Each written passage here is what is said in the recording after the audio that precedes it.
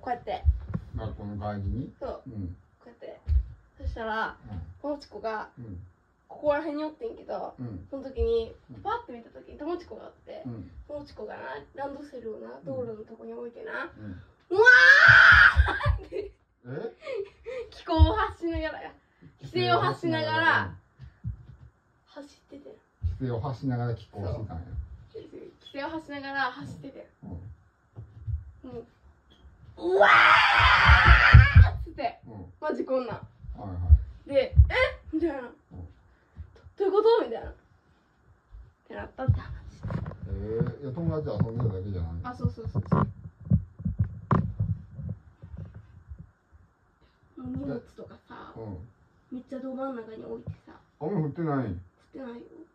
うーんなんなんこいつと思った。そうなんや。そしたらさ友近がうん。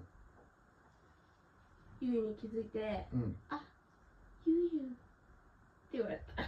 あそうなんそう。なんかすごい秘密がバレてしまったかのように「あゆうゆうおったんや。そうだよ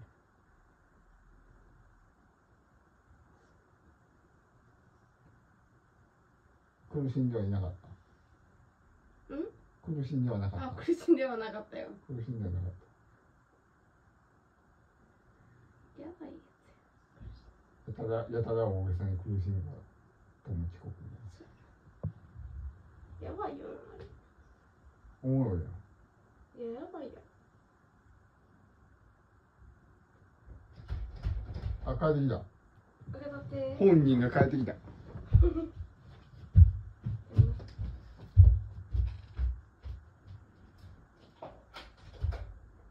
帰りと思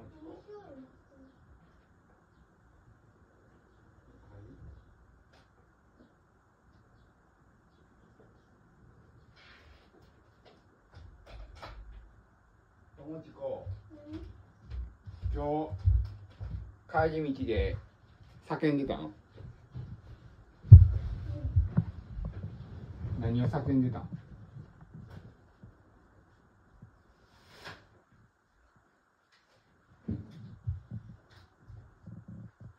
ここはおわお笑いをしないと通さないって言われたからお笑いしててそうなんや。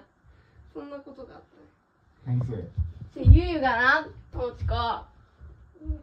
ゆうゆがこうやって歩いてパッて友近の方見たらうわーって走ってたから。でこうやって友近がゆうゆのこと見つけた瞬間あゆうゆおったんや